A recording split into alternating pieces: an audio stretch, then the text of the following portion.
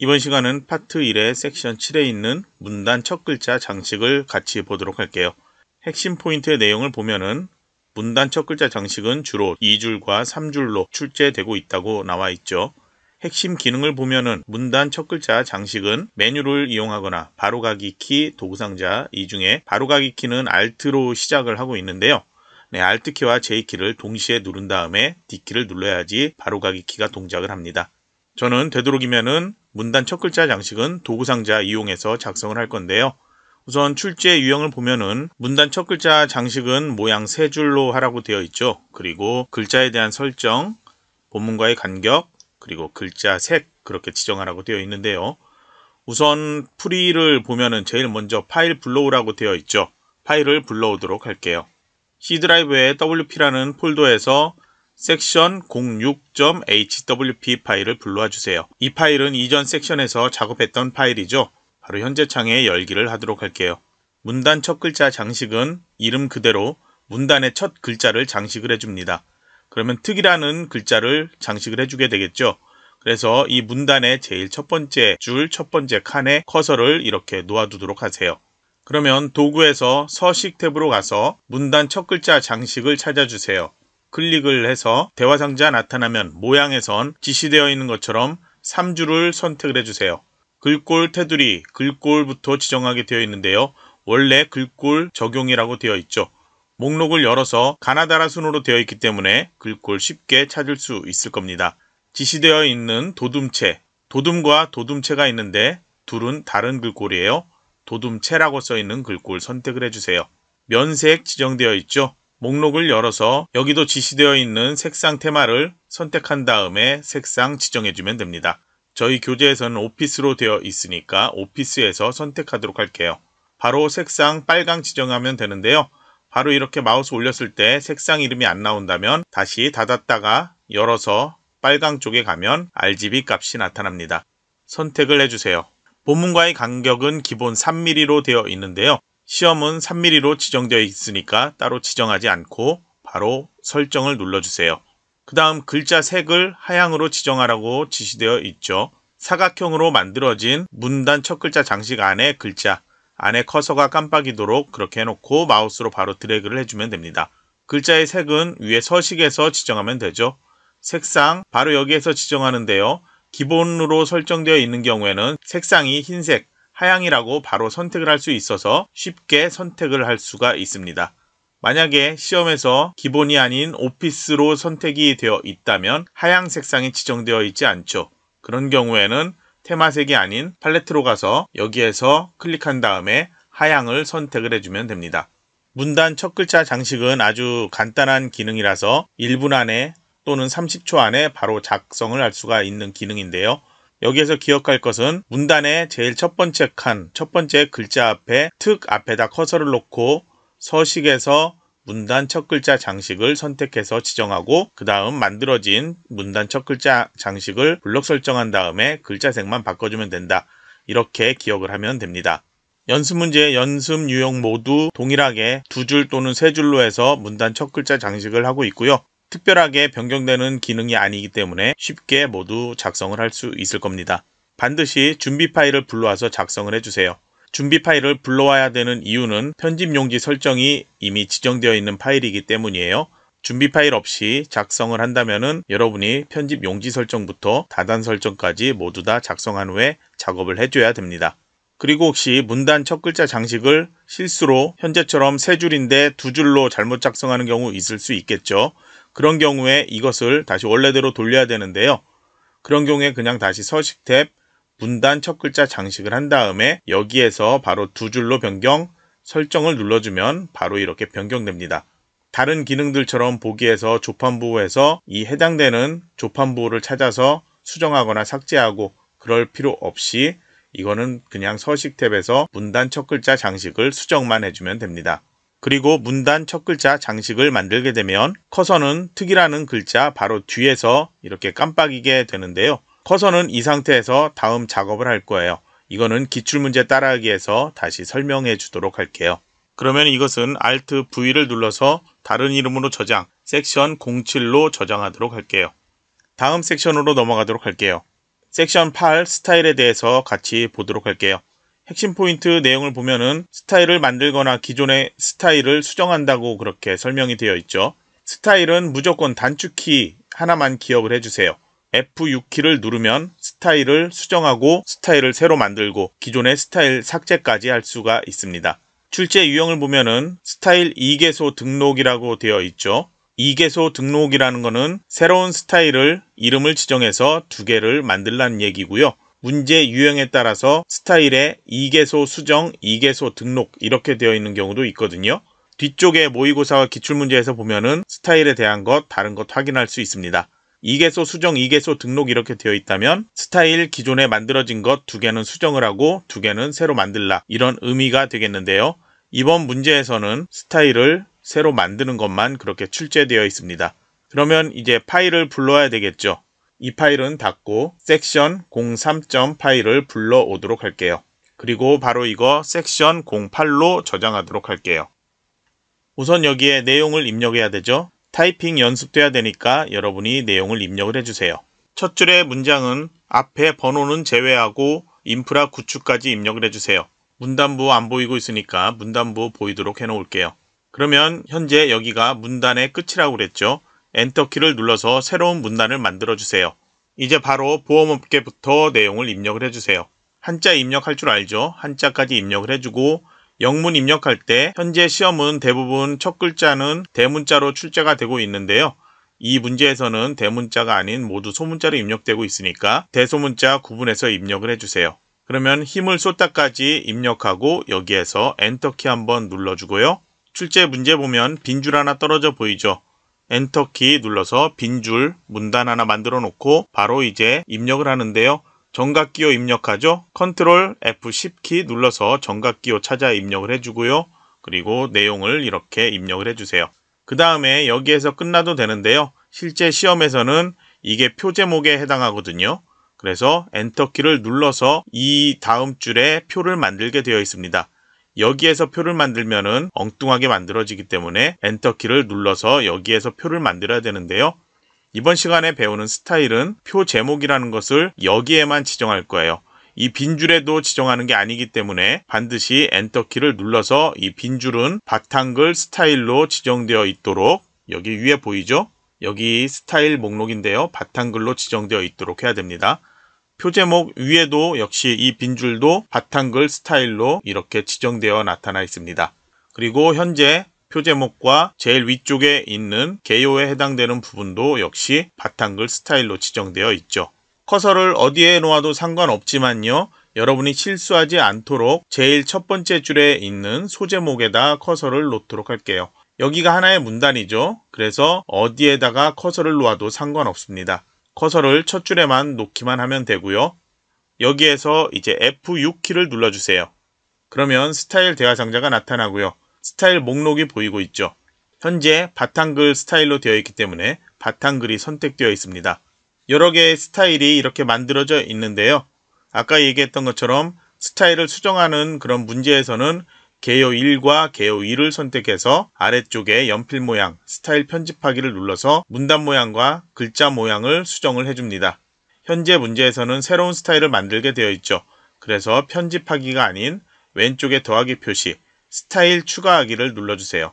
현재 목록은 어느 게 선택되어 있든 상관없습니다. 스타일 추가하기를 한 다음에 대화 상자 나타나면 지시되어 있는 것처럼 첫 번째 스타일 소제목이라고 입력을 해주세요. 입력할 때 불필요한 공백 이것도 하나의 글자거든요. 그래서 공백 없도록 정확히 소제목까지만 입력을 해주세요. 스타일 종류는 문단이 선택되어 있어야 됩니다. 글자가 선택하면 문단 모양을 지정하지 못해요. 그래서 문단 선택되어 있는 상태에서 문단 모양을 먼저 지정해도 되고 글자 모양을 지정해도 상관은 없습니다. 저희 교재 설명에서처럼 글자 모양이 지정할 게 더 많으니까 글자 모양부터 들어가도록 할게요. 지시되어 있는 것처럼 글꼴 바로 굴림이라고 입력을 해볼게요. 굴림까지 입력하면 이렇게 나타났죠. 굴림체 선택을 해주세요. 글자 크기는 바로 11포인트로 이렇게 키워주고요. 속성을 진하게로 지정을 해주세요. 다른 속성 지시 없으니까 이제 설정 눌러주세요. 소 제목 스타일에 번호 문단 지정되어 있죠. 그래서 문단 모양을 클릭을 해주세요. 기본 탭 선택되어 있는데요. 확장 탭으로 가면 개요 문단, 번호 문단이 있습니다. 지시된 것처럼 번호 문단을 선택을 해주세요.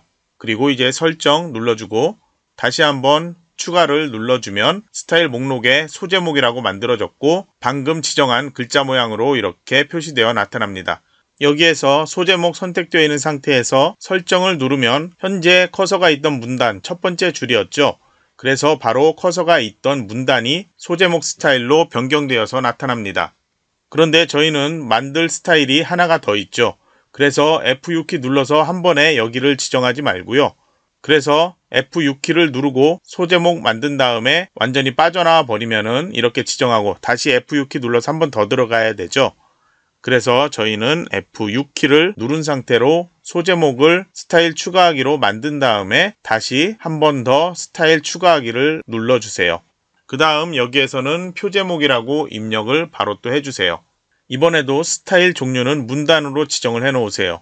이번에도 문단 모양, 글자 모양 어느 걸 먼저 들어가도 상관없지만 교재 내용처럼 글자 모양 먼저 들어가도록 할게요.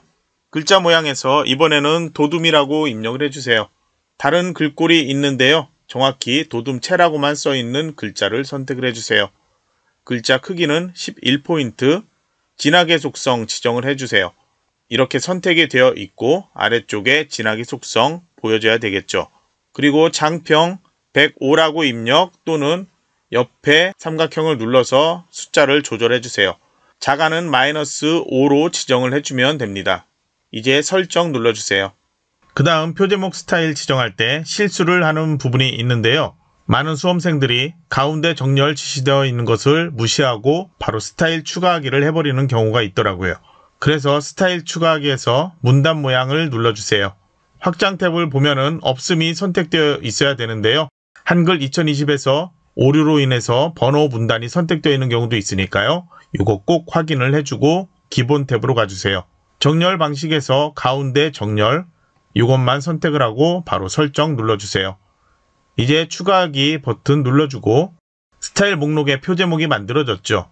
이 상태에서 커서가 첫 줄에 있었죠. 그러면 표 제목 선택된 상태에서 설정 누르면 첫 번째 줄이 표 제목 스타일이 지정되어 버리겠죠. 그러니까 소제목 선택, 설정 눌러주세요. 아니면은 이미 만들어졌으니까 ESC키 또는 그냥 닫기를 눌러도 상관없습니다.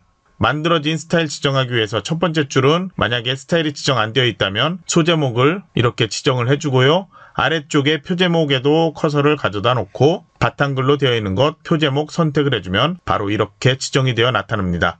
그런데 여기에서 가운데 정렬을 위에 서식에 가운데 정렬로 따로 지정하는 경우 있다는 거죠. 스타일에서 지정하지 않고 여기에서만 지정하면 감점이 된다는 겁니다. 그리고 하나 더 알아둬야 될 거는 빈 줄은 항상 바탕글 스타일로 되어 있어야 된다고 그랬죠. 글꼴도 동일하게 기본 글꼴인 함초롬 바탕 10포인트 160% 양쪽 정렬 상태로 있으면 됩니다. 그런데 여기를 만약에 글자 크기를 제가 임의로 한 16 정도로 조절했죠. 그러면은 간격이 넓어지고 커서가 커져 있죠. 이러면은 한 줄이 떨어져 있는 게 아니고 두 줄이 떨어져 있는 것처럼 보일 수도 있겠죠. 그래서 만약에 이렇게 했다면 바탕글 스타일로 변경을 해주면 되는데요. 단축키로 그냥 컨트롤하고 숫자 1키를 눌러주면 바로 커서가 있던 이 줄은 바탕글 스타일로 되돌아옵니다. 그래서 혹시 문서가 1페이지가 아닌 2페이지로 되는 경우에 이 빈줄도 꼭 확인을 해 보셔야 됩니다. 연습 문제 중에 연습 유형의 6번을 보면은 조금 다르게 되어 있죠. 아까 제가 얘기했던 것처럼 스타일, 2개소 수정, 2개소 등록 이렇게 되어 있고요. 개요 1과 개요 2를 수정하라고 되어 있습니다. 이 문제만 간단히 제가 설명을 추가로 해주도록 할게요. 먼저 이 파일은 저장하기를 눌러주세요. 그리고 준비 파일인 섹션 08-6번 파일을 파트 2 폴더에서 불러오도록 할게요. 이 파일을 보면은 스타일이 전혀 지정되어 있지 않죠. 고등학생의 학업 성취도는 스타일 표제목이고요. 위에 쪽은 개요 1에 해당하고 아래쪽에 조사에 의하면부터 높게 나타났다까지 이 줄은 스타일 개요 2에 해당하고요. 그리고 참고 문헌 아래쪽에 있는 영어로 써 있는 이 부분은 참고 문헌이라는 새로운 스타일을 지정하는 문제로 되어 있습니다. 그러면 이거 간단하게 제가 설명할게요. 우선 첫 번째 줄에 커서를 놓고 F6키를 눌러줘 보세요. 스타일 목록에 개요 1, 개요 2가 만들어져 있죠. 개요 1은 선택한 다음에 스타일 편집하기를 눌러주세요. 그리고 문단 모양을 클릭해서 기본 탭에서 여백 중에 왼쪽 여백을 10 지정되어 있는 것 0으로 변경을 하고 바로 설정 눌러서 빠져나와 주세요. 그리고 다음 지시로 12포인트 지정되어 있죠. 그거는 글자 모양에서 글자 크기 지정되어 있는 거거든요. 우선 견고딕부터 입력하도록 할게요. 자, 경고딕 입력했을 때 HY 경고딕은 한양 경고딕이에요. 그리고 신명 경고딕 있고요. 샵 경고딕도 있는데요. 각각 이름이 다르죠. 그래서 그냥 경고딕 써 있는 거 선택을 해줘야 되고요. 만약에 글꼴이 안 보인다면은 해당 경고딕이라는 글꼴을 구글에서 검색을 해보세요. 그러면 글꼴 설치에 대해서 설명이 되어 있을 겁니다. 견고딕 선택, 글자 크기 12포인트 지정, 그리고 진하게 속성 지정, 그리고 설정 눌러주고 다시 한번 설정 눌러주면 개요 1이 다시 이렇게 변경되어 나타납니다. 다시 개요 2를 선택, 스타일 편집하기 눌러주고 이번에도 문단 모양 들어가서 여백의 왼쪽을 20 지정되어 있는 것 15라고 입력을 해주세요. 그리고 다른 지정 없으니까 설정, 글자 모양에 대한 지정도 없죠. 바로 설정 눌러주세요. 그리고 이제 표제목과 참고 문헌 새로 만들면 되겠죠. 스타일을 새로 만드는 건 방금 전에 배웠으니까 여기에서 쉽게 만들 수 있을 겁니다. 세부 지시처럼 스타일을 모두 수정을 하고 만들게 되면 스타일 목록이 여기에 나타나겠죠. 그때는 이제 설정 누르지 않고 바로 빠져나와도 된다고 했습니다. 그러면은 첫 번째 줄에 커서 놓고 바탕글 되어 있는 것 개요 1로 지정하고요. 그리고 여기도 블럭 설정해도 되고 커서만 놓아도 되는데요. 실제 문제에서는 개요 2에 해당하는 것은 3개나 4개 문단을 동시에 하게 되어 있습니다. 그래서 이렇게 블럭 설정을 해서 한꺼번에 지정을 해줘야 됩니다. 3개 문단이나 4개 문단을 개요 2로 지정을 한다는 거죠. 그러면 개요 2는 가나다 또는 가나다라 이런 식으로 나타나게 되겠죠. 그 다음 표제목은 커서 놓고 바탕글에서 표제목 찾아 지정하면 되고요. 참고 문헌도 역시 출제 문제에 영어에 대한 부분만 박스 쳐져 있죠. 그래서 이 부분 역시 만드는데요. 역시 하나의 문단이 아닌 두 개나 세 개 문단이 써 있을 겁니다. 그래서 여기도 블록 설정에서 참고 문헌이라는 스타일을 찾아서 지정을 해주면 됩니다. 정답 파일을 열어서 여러분이 작성한 것과 비교를 해보면 어떤 형태로 바뀌는지 여러분이 확인을 할 수가 있겠죠. 그러면 다음 섹션 표에 대한 것은 설명할 것이 많으니까요. 이번 시간은 조금 짧긴 하지만 여기에서 마치도록 하겠습니다.